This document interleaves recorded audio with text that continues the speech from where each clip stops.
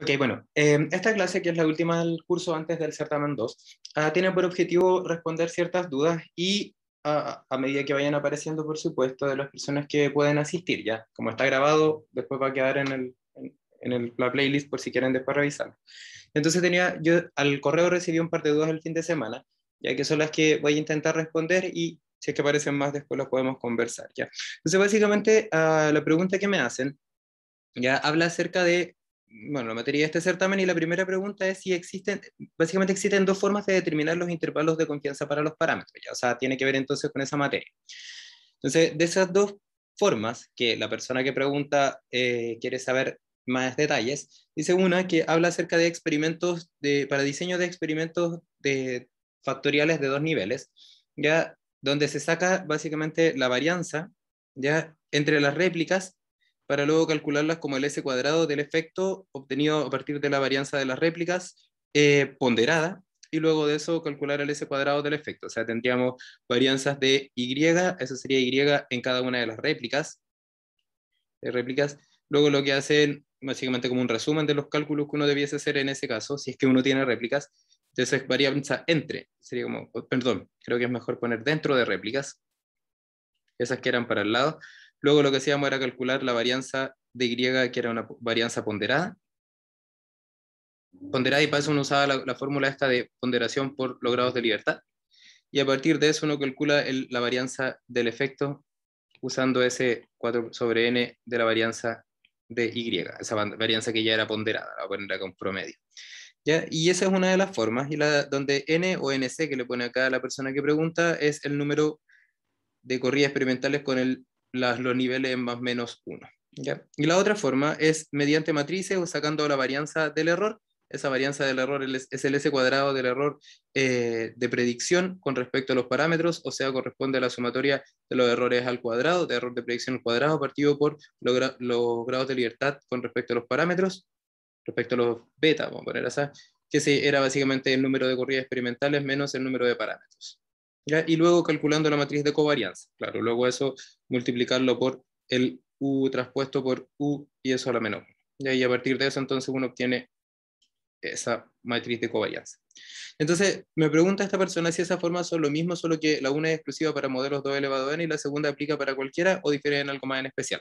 Y al respecto solamente hacer un comentario. ¿ya? Eh, efectivamente, la, la pregunta y la de propuesta de respuesta que me hace la persona que hace esta pregunta, eh, está bien en el sentido de que si la primera es exclusiva para los modelos 2 elevado a n. Claro, solo cuando tenemos un diseño de experimentos 2 elevado a n, la definición de las corridas experimentales y la definición de efecto permite entonces hacer este cálculo asociado a la varianza del de, eh, efecto y a partir de la varianza del efecto, la varianza del efecto, uno puede llegar a obtener entonces el intervalo de confianza del efecto. Y eso se da solamente, como dice esta persona, exclusivamente para este tipo de diseños de experimentos, diseños de experimentos factoriales de dos niveles. Y asimismo la segunda aplica para cualquiera, efectivamente, la segunda aplica para cualquiera con la salvedad de que la segunda forma aplica para cualquiera siempre y cuando estemos trabajando con modelos que sean lineales. ¿ya? Porque en el caso de que no sean lineales, la ecuación para calcular eh, los intervalos de confianza mediante esta matriz es un poco más compleja porque no se puede llegar a una, expresión matricial, de hecho. Cuando uno tiene un, sistema no lineal, uno no puede llegar a eso, y eso lo conversamos como en la, al principio de la clase pasada. Yo les comentaba que habían formas de calcularlo que son básicamente numéricas basadas en procedimientos de muestreo aleatorio. ¿Ya? Entonces, entonces eso tenía que ver con, con esa pregunta, pero aquí hay un comentario que hay que hacer entonces, sí en el sentido de que la 1 es exclusiva, esa metodología es exclusiva para diseño de elevado n y la segunda es para, eh, otro, para cualquier tipo de problemas de regresión, incluido el modelo 2 elevado que aparece con el 2 elevado n. ¿ya? O sea, es general, la 2 es general para el caso 1 y el caso 2, y la 1 solamente aplica para el caso de 2 elevado n. Y al respecto sí hacer la salvedad de que, ojo que la primera forma lo que hace es calcular la varianza del efecto y permite calcular la varianza, el intervalo de confianza del efecto. Y la segunda calcula directamente la varianza de los parámetros, ya que existe una relación para el caso del 2 elevado a n, que los parámetros son el efecto partido por 2, ¿ya? Pero ojo con eso porque tampoco son exactamente iguales. Pero para, para determinar eh, aquellos elementos que pueden ser eh, descartados de un modelo porque no representan una relación estadísticamente significativa, efectivamente, eh, la primera forma aplicaría para diseño solamente de 2 elevado a n, y la segunda aplicaría para cualquier tipo de eh, modelo lineal, el cual me permitiría calcular el intervalo de confianza de los parámetros. ¿ya? Entonces, ahí era una de las preguntas que me hacían, y espero que eso les haya quedado claro. ¿ya? Y la segunda duda que tenía, tenía que ver con un tema asociado justamente a la varianza ¿ya? de los parámetros, cuando uno calcula la varianza de los parámetros y lo calcula, ¿no es cierto?, como la diagonal de la matriz de covarianza. ¿ya? Entonces, básicamente acá la pregunta es, eh, ¿por qué la ayudantía 12 del ejercicio 2, ya está hablando de un ejercicio que está en la playlist del curso, al obtener los intervalos de confianza de los parámetros, se multiplica por un CIJ, donde CIJ es la diagonal de la matriz U traspuesta por U elevado a la menos 1. Entonces vamos a poner U traspuesta por U a la menos 1. ¿ya?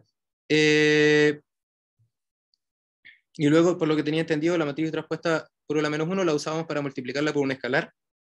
Y con eso se obtiene la matriz de la covarianza, y aquí a esta matriz sacarle la diagonal para obtener nuestro S como la raíz de la diagonal. Eh, ¿Es equivalente a ambas formas de obtener intervalo de confianza por mínimos cuadrados generalizados? Ya, yo creo que aquí la pregunta, eh, la respuesta también es, es equivalente, ya, pero ojo con los cálculos y los pasos que se hacen. Ya, por lo siguiente, ya, porque en la ayudantía ustedes pueden encontrar de que a esta matriz, solamente esta matriz, ya le llaman, eh, le generan un nombre complementario de los elementos que aparecen en esta matriz. Por ejemplo, si esta matriz yo le llamo matriz C, ya por ponerle un nombre. Entonces, efectivamente, acá está el C11, acá está el C12, y así hasta, por ejemplo, el C1N, y acá va a estar el C, eh, aquí sería el 21, hasta el CN1, y acá estaría el CNN. Y acá estaría el C22. Esos básicamente son los componentes de una matriz. Ya, entonces, por ejemplo, si yo quiero calcular la matriz de covarianza, lo que yo hago a esta matriz de covarianza, multiplicar por este escalar S cuadrado del error de predicción con respecto a los parámetros de beta. Entonces, claro, yo de acá lo que hago es multiplicar un escalar por una matriz, y cuando uno multiplica un escalar por una matriz, cada elemento de la matriz se multiplica por ese escalar. ¿Eso qué quiere decir? Que si yo me fijo solamente en la diagonal, yo tengo S cuadrado, eh, error de predicción con respecto a beta, con, multiplicado por C11, hasta la última, que sería S cuadrado del error de predicción respecto a beta, Cn sub n, siendo n el número de parámetros. Entonces, si yo saco la diagonal de acá, yo les había comentado que esa diagonal corresponde a la varianza del parámetro. En ese cuadrado sería ese cuadrado del beta 0 y acá sería, por ejemplo, el ese cuadrado del beta n, porque es la diagonal de la covarianza. La varianza, entonces, es la diagonal de la covarianza. Entonces, de acá yo le puedo sacar la raíz y lo que obtengo es efectivamente el S del beta 0 y acá estaría con raíz el S del beta sub n. Y con eso yo puedo calcular los intervalos de confianza. Esa es la forma como lo vimos en clase.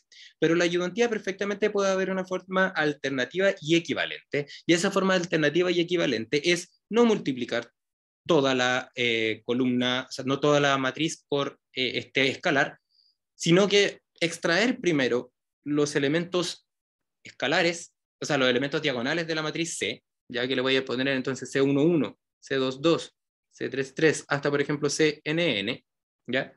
Extraerlos primero, extraer la diagonal de la matriz C, no de la matriz de covarianza, y luego a esa matriz, a esos elementos que sacamos de la diagonal, multiplicarlo por el S cuadrado del error eh, de predicción con respecto a beta, cada uno de los términos, beta y así sucesivamente, predicción con respecto a beta y así hasta el último, respecto a beta, y entonces luego lo que hacemos es le sacamos la, raíz a cada uno de estos términos. Y esto también corresponde al S del beta 0, este sería el S del beta 1, no el S cuadrado del S.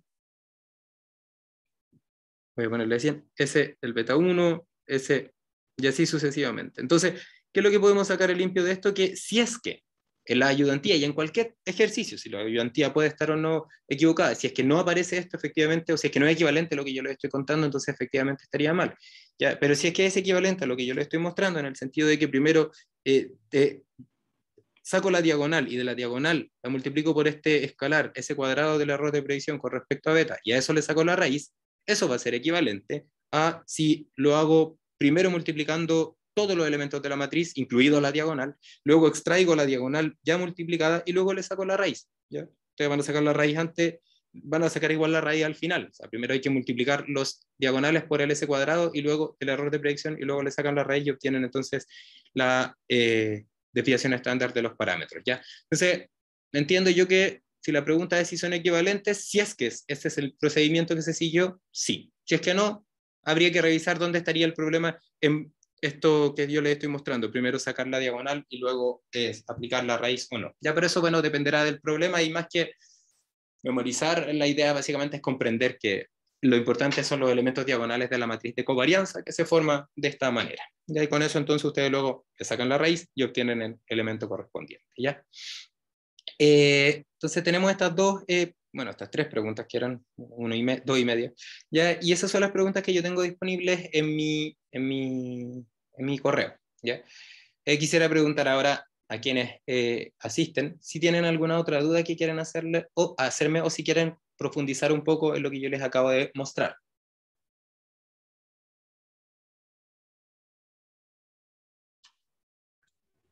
No, profe, quedó todo claro. Ya, súper bien. Vale, entonces, bueno, si no hay dudas, ya lo dejamos hasta acá. Eh, yo voy a subir este video, por supuesto, para eh, responder a esta consulta la persona que me la hizo por correo. Eh, y eso, entonces nos veremos mañana a la hora de la evaluación. Cualquier otra duda que les aparezca, si la puedo responder por correo, por supuesto que lo haré. Ya que estén muy bien. Chao, profe, muchas gracias. Chao, chao, Cecilia, gracias a ti. Chao, chao.